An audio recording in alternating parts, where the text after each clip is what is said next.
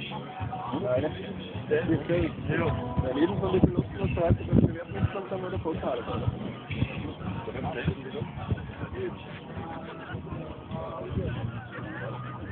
Nei.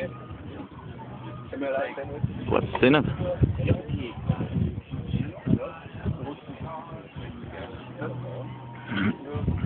Damit das Problem war, er geht los